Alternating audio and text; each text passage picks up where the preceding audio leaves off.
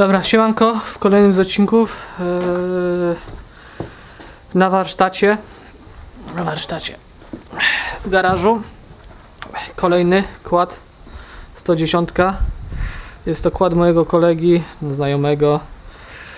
Yy, no cóż przyjechał, żebym mu kurde coś porobił przy nim bo jeszcze mojego nie zrobiłem niestety. Yy, nie dam rady zrobić, w tym jest problem no. Jest rozwalony w częściach. Niestety odcinki e, na to musicie czekać. Tu już jest nowa skrzynia 3 plus 1 no musicie czekać, no nie, nado- nie wyrabiam z odcinkami. Yy, tu jest reszta części. Kartery, nie kartery. No musicie czekać na te odcinki, bo po prostu nie dam rady, no nie wyrabiam z tym wszystkim. Psychika człowiekowi aż normalnie siada.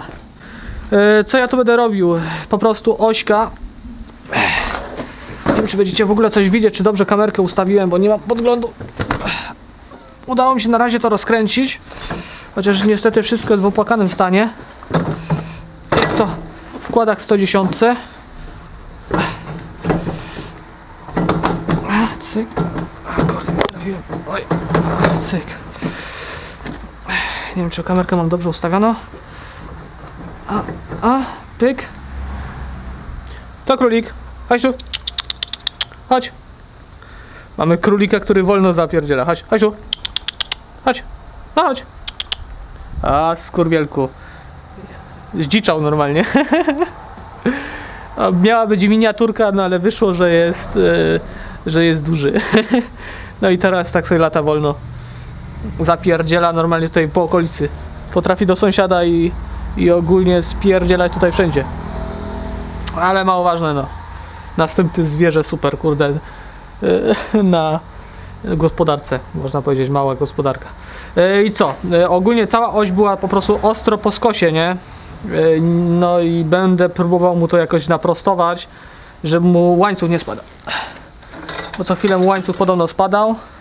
I będę próbował to jakoś po prostu przynajmniej będę próbował to jakoś naprostować. Zrobić, żeby, e, by- by- by- by- żeby mu się to kurde wszystko chodziło równo. Bo na chwilę obecną no, się, strasznie, strasznie się kolega strasznie się kolega niestety wkurza, no bo do przodu, do tyłu i co chwilę mu łańcuch spada. Eee, I tyle. Dziękuję za, za oglądanie. Do następnego. Na razie, trzymajcie się. Hej. Włączymy podgląd. A? Żebyście widzieli lepiej. Po prostu tu jest. Powiem wam, że ta piasta jest y, zrobiona chyba z gównolitu, bo strasznie miękka jest. Strasznie miękka i się ta blacha poddaje. Teoretycznie, jakbym miał tokarkę, to ja bym tutaj zrobił e, nowe blaszki, o wiele grubsze, spawnął do piasty i by było, no ale niestety nie mam tokarki i nie mam jak to zrobić. Więc na razie jest tak, a nie inaczej. Dobra, e, będę wymieniał oczywiście śruby. E, Tutaj po prostu było to skręcone, e, śruba i nakrętka, tak, w ten sposób. E, Ja to, no, w drugą stronę, bo nakrętki były od wewnątrz, ale w taki sposób to było zrobione. Ja co mam teraz zamiar zrobić, po prostu przyspawać nakrętkę do, na stałe nakrętkę do tutaj do piasty z jednej i z drugiej strony, żeby śruby się przekręcało od wewnątrz i tyle no, żeby po prostu śruby przekręcasz, szybki jakiś łatwy demontaż, a nie tak jak wcześniej, że trzeba dwa klucze jednym, żeby się dało kręcić to z zewnątrz Y, i tyle kurde, normalnie speedbike'iem coś u mnie na kanale ostatnio ciężko. Po prostu nie ma w ogóle nic na temat speedbike'ów, niestety musicie mi wybaczyć.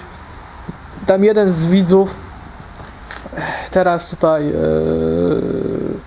macie na ekranie wysunął się z propozycją, iż ma części do te- tego kłada mojego więc zobaczymy co on tam ma. Jak się będą dobre ceny, prawdopodobnie właśnie się kupi i e, będzie super. E, Do czego ja doszedłem jeszcze przy moim kładzie? Bo od razu jeszcze powiem, że po prostu chyba to wezmę, rozbiorę całkowicie wszystko, wał, wszystko powyciągam i umyję to w ropie dokładnie, e, żeby to super ten silniczek był.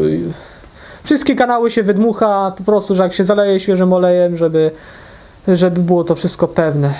Y, Żeby było pewne i silniczek, żeby był pewniutki. No, jak w przyszłości turbinę zamontuję, żeby. żeby... nie no dobra, nie będę, nie będę pierdzielił. Dobra, tyle no. Zakładam na web kamerkę i jedziemy z tematem. Mam nadzieję, że kamerkę mam dobrze ustawioną. że będziecie cokolwiek widzieć. Bo mi się wydaje, że będzie lepiej z tej perspektywy nagrywać, bo będę mam, mam obydwoje rąk y, wolnych. No i po prostu mogę cokolwiek robić.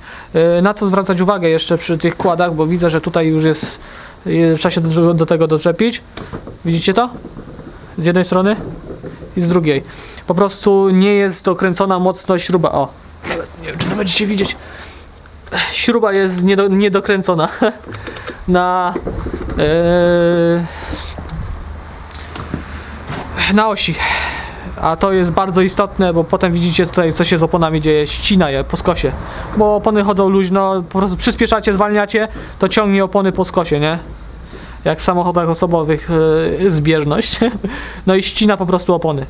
I jest problem. No. Ja się biorę do roboty, bo kamerka wiecznie trzymać baterii nie będzie. Dobra, wyciągamy tą ośkę. Ośkę wyciągamy na bok. Chociaż nawet nie muszę jej wyciągać, bo tu trzeba będzie pierdolnąć młotkiem. Bo bez młota to gówno nie będę przeklinał. Muszę się, na, muszę się oduczyć na tych filmikach, bo dużo osób mi właśnie zwraca uwagę. No, niestety będę musiał się oduczyć.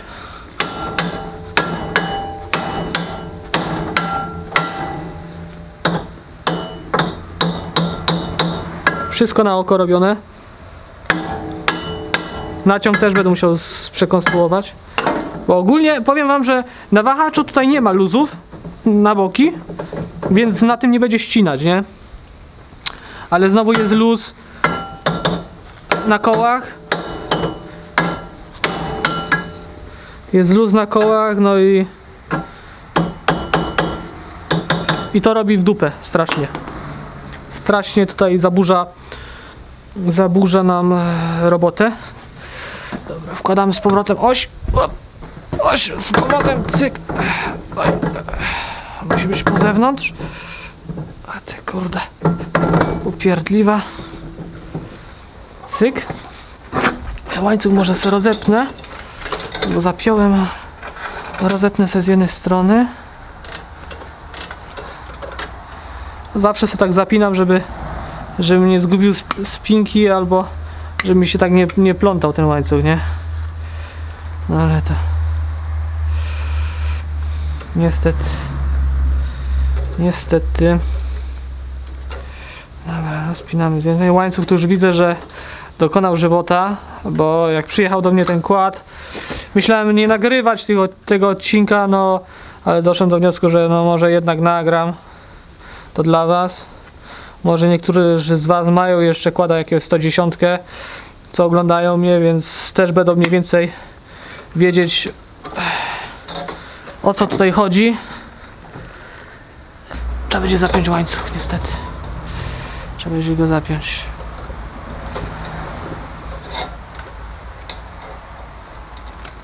Trzeba będzie zapiąć łańcuch i to robić pod łańcuch.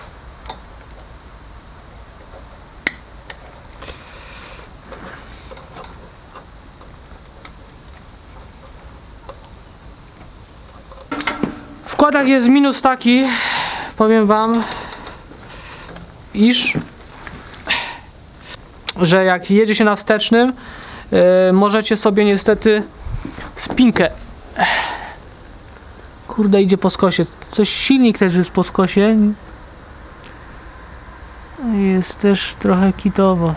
Dobra.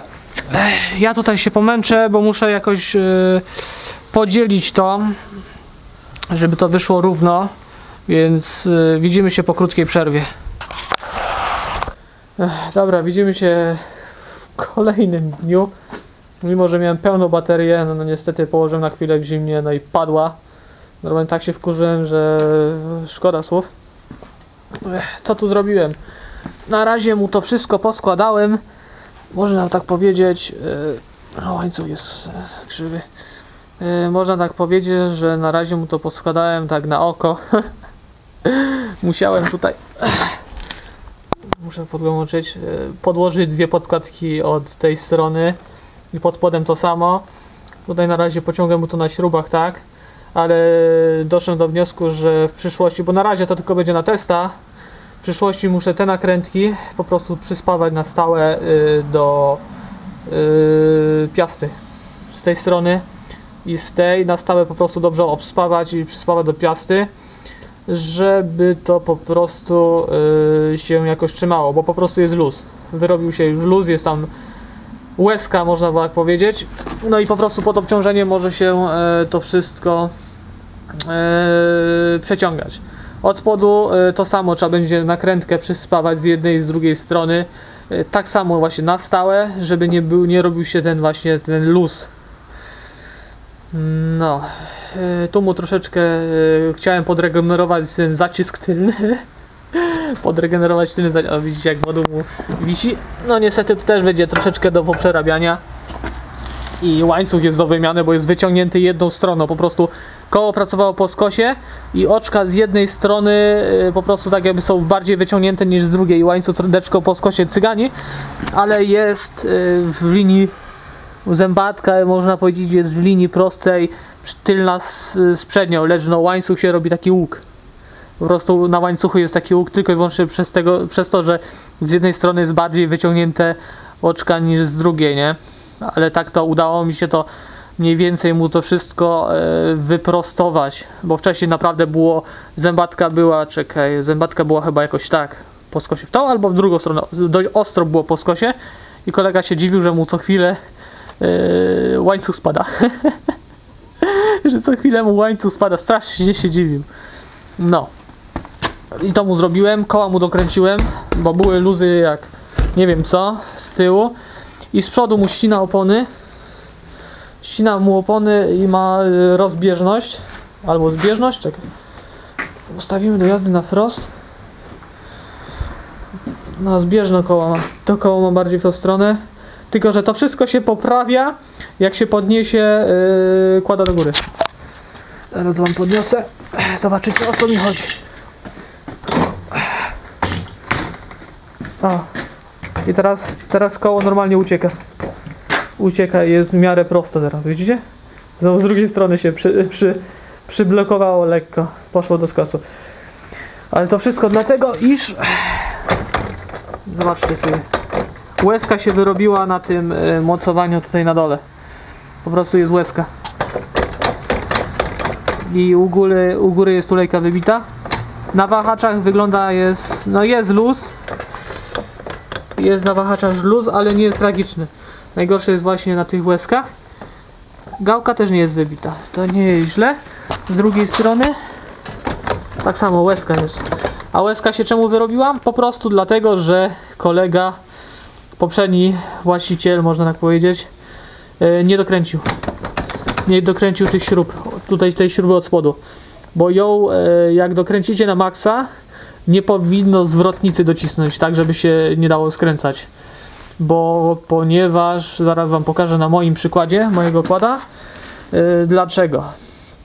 No i tam jeden z widzów e, tam mi da, proponował już e, części dokłada, lecz niestety nie ma e, tego. Nie ma on u siebie takiej, że tego elementu, co tu jest. To jest taka jakby tulejka yy, z takim uchem, właśnie poluję na ten element, nie mogę nigdzie tego znaleźć. Kupiłbym nowe choćby nawet, no ale niestety nie ma, nie ma nigdzie. Jakby ktoś miał, no ponawiam prośbę, bardzo bym prosił o ten właśnie element tutaj. Yy, I drążek jeden, drążek, jakby ktoś miał, to przy okazji też taki drążek jak tutaj by mi też pasował, więc no jakby ktoś miał, no chętnie przygarnę.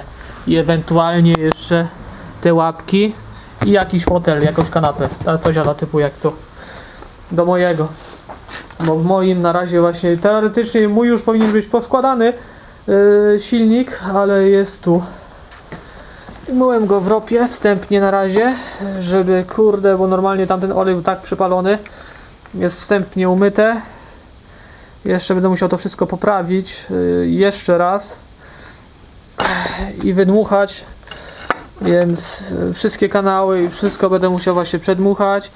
Y, No i tu jest głowicę to miałem całą czarną, a teraz się okazało, że zrobiła się srebrna. a była cała czarna. Teraz już jest srebrna. Jest o wiele lepiej. Teoretycznie ja bym to przewalił dimmerem, ale jest za zimno teraz, więc no tak to bym dimmerem przewalił i nie byłoby w ogóle problemu. Potem tylko dobrze wydmuchać i... Ale no nie dam rady, no nie dam rady tego przydimerować na razie. Bo jest za zimno na Kercher. No e, cóż, no kanały wywalę tak samo, właśnie muszę wszystkie przedmuchać, żeby było na pewno wszystko ok. Jak złożę silnik, żeby była żyleta. No, tu mam resztę części. Rozrusznik, rozrusznik i te pierdółeczkę.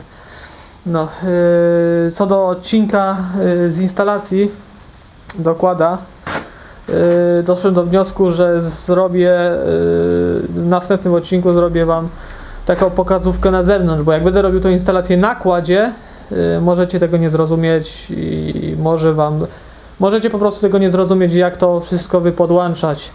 Y, Jak będę robił instalację na kładzie, tak samo zrobię wam jeszcze filmik o instalacji, ale wiedzcie mi jed, wiedzcie jedno, iż y, niestety no nie jestem specjalistą, jestem samoukiem. Nigdy się za specjalistę nie uważałem, więc yy, miejcie tam jakiś dystans do tego, co ja mówię. Mogę tam troszeczkę mylić pojęcia, no i no i tyle w temacie. No specjalistą nie jestem, ja się wszystkiego staram uczyć yy, sam.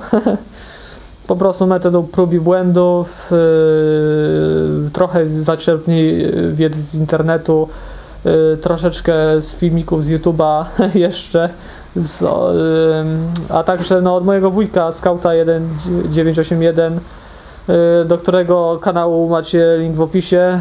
Od niego właśnie tak samo dość sporo wiedzy zaczerp, zaczerpnąć mogę. Na przykład jak robiłem instalację przy moim kładzie Kalew 300, dużo pomocnej wiedzy właśnie miałem od niego, y, jak to wszystko y, zrobić, żeby chodziło na chińskim module. Bo bardzo dużo osób y, na internecie, na forach, jak wypisywałem, to mi mówili, że to nie przejdzie, że to nie będzie działać, że szkoda zachodu i to wszystko. No ale jak widzicie, wszystko działa bez naprawdę większych przeróbek. Y, Jestem z tego bardzo zadowolony. Y, Wczoraj, jak widzicie tutaj, nie ma mojego kłada, był parę miesięcy nieprzepalany. Jedno pociągnięcie szarpakiem odpalił bieżonego, ale yy, no ale niestety no muszę zrobić właśnie ten szlif, szlifa cylindra, nowy tłok wsadzić i yy, zregenerować przednie hamulce, bo cylinderki się pozapiekały. No i z tyłu yy, simmering na wale wymienić. No i tyle, no i plastiki pospawać i składać tego dziada wreszcie. No ale no, hajs, hajs, hajs, hajs, hajs. Na razie chciałem tego małego kłada zrobić, powiedzieć, że o, że jak, e, strasznie się... E, strasznie gadam, że nie mam kasy, a tu już nowy sprzęt kupiłem. No, kupiłem go tak, żeby po prostu e, do nauki, do testowania e, i ogólnie, żeby wam co nieco pokazać na tamtym silniku, no właśnie na tym na tym silniku co nieco Wam pokazać, y, jak to w środku wygląda, że to nie jest trudne i naprawdę jest banał. Można tak powiedzieć, że jest banał. Y, Ten silnik bardzo prościutki. No i naprawdę, naprawdę początkujący mechanik, czy osoba z jakimś tam minimalnym doświadczeniem y, ogarnie temat. No, bo bardzo dużo jest właśnie motorków na tym silniku, nie? Y, Co do mojego RCU, no niestety, no widzicie, znowu mi uszczelniacz poszedł tutaj na wale. No uszczelniacz mi to raczej nie poszedł, tylko po prostu y, pod spodem mam o-ring. No i ten o-ring puścił, bo go przyszczypałem niechcący, jak y, w lesie naprawiałem. To mi się podeszedł, no i przyszczypał, no i jest problem, bo takiego ringa nie dokupi, bo to jest, y, nie są dwa o-ringi jak w RCU oryginalnie jest tutaj jeden duży o-ring i na wałku jest drugi mały o-ring, tylko tu jest taki jakby jeden duży taki jajowaty. Jeden duży taki jajowaty o-ring i właśnie tu już jest problem, no troszeczkę zżygany, tu mi o-ring puścił też pod tym, ale o-ringa sobie kupię tam za 10 groszy, czy za ile to sobie wymienię później, ja będę remont robił, no i tyle. A tak to nie ma żadnych problemów większych z nim. Teoretycznie no chodzi, odpala od strzała i wszystko działa, tylko no kopci, bo uszczelniacze zaworowe puściły, no. Już od samego początku, no nie od samego początku, ostatnio jak pałowałem mu tam do odcięcia, to zaczął puszczać tam dymka, no i ostatnio y, jak leżał na boku, no przelało się za dużo oleju i teraz kopci jak, y, jak nie wiem co. Teoretycznie odkręciłbym tylko tutaj dekielek, ten i spuścił ten cały olej yy, w piździec na dół. Już nie powinien kopcić, no ale na razie nie jeżdżę, żeby się nagarów za dużo nie narobiło i no i czeka mnie właśnie remont. No, kompresja jest konkretna cały czas, yy, tylko i właśnie jest problem z właśnie z tym yy, uszczelniaczami zawodnymi. Nie jest duży koszt, no, ale ja raczej jak już będę robił ten silnik, nie wiem, jeszcze się muszę dobrze zastanowić, podliczyć koszta wszystkie, to raczej yy, rozbiorę go na czynniki pierwsze i zrobię już na gotowca, żeby to hulało, nie? No i mam taki jeden pomysł, jak z- naprawić tą skrzynię biegów, bo właśnie zauważyłem, że nawet w tym dziadostwie no nie ma tam, tam, tam żadnej podkładki, nie no ale nie będę nic, nie będę wnikał z tą podkładką, bo cały czas normalnie te teorie spiskowe, że w schemacie nie ma podkładki pod y, tym, nie wiem jak to się nazywało, y, coś tam do y, zmiany biegów. Pod tamtym dziadostwem, co tak strasznie mówiłem, że mi klinowało skrzynię, nie? Y, no i doszedłem do wniosku, że będę musiał przetestować jedną opcję. Jedną opcję, którą zauważyłem właśnie w tym silniku. W tym silniku jest coś takiego zastosowane, więc będę musiał to przetestować yy, i mam nadzieję, że będzie działać. Dobra, tyle. Eee, tutaj to kolega ma za, za niedługo do mnie przyjść, to mu powiem co jest grane przy tym kładzie i czy to będziemy robić, czy nie. Bo luza na, luzów na łożyskach nie ma w kołach, jest nieźle. Tylko, że za twarde, to zawieszenie się wybija tylko i wyłącznie dlatego, iż, bo jest za twarde. Za twarde jest zawieszenie i dlatego się wybija co chwilę. No. No i tyle. Tyle w temacie. E, cóż. Cóż no. Nie będę wam da- dalej truł. e, Was jakiś filmik na internet wrzucić, bo ostatnio naprawdę coś ciężko mi to idzie. Pewnie zauważyliście. Ciężko mi to idzie to nagrywanie. No ale no jak to w życiu bywa. Powoli, ale do przodu. Ja się nie mogę doczekać, kiedy swojego piździka zrobię, tego kładzika. Toj to ja. Mały toj toj. No i wtedy będziemy upalać go. No i mam nadzieję, że następny co, jak uda mi się uporać z tym, y, jak najszybciej y, kładzikiem moim, to się wezmę za MRF-a, żeby mieć jakiś sprzęt na zawody, na y, zawody CC. No, speedbike riderem właśnie ostatnio mało coś upalam, no nie ma czasu, kurde. Pierdzielona robota, nie ma czasu upalać. Paliwa jest, baku, no ale no nie ma czasu, nie ma kiedy, nie ma kiedy jeździć. No, Speedbike Rider też tam widzę, że y, powrócił na YouTube'a, nagrywa filmiki, cieszę się bardzo z tego. No, przynajmniej będziecie mieć kogo oglądać, yy, skoro ja ostatnio, yy, można powiedzieć, po, wyszedłem w cień. no, dobra, no, tyle. Ja się z wami żegnam. Do następnego. Trzymajcie się. Hej!